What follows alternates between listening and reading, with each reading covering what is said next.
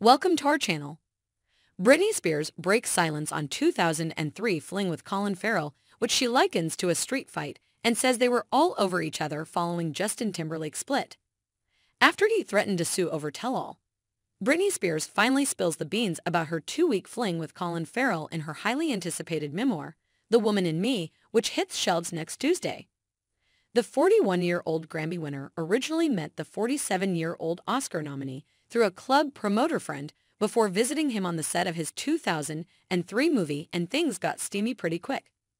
In her memoir, Britney likened their passionate fling to a street fight and says they were all over each other.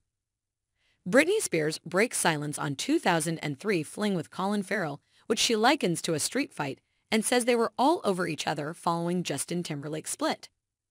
After he threatened to, Britney Spears finally spills the beans about her two-week fling with Colin Farrell in her highly anticipated memoir, The Woman in Me, which hits shelves next Tuesday. The 41-year-old Grammy winner originally met the 47-year-old Oscar nominee through a club promoter friend before visiting him on the set of his 2003 movie and things got steamy pretty quick. In her memoir, Britney likened their passionate fling to a street fight and says they were all over each other. Brawl is the only word for it.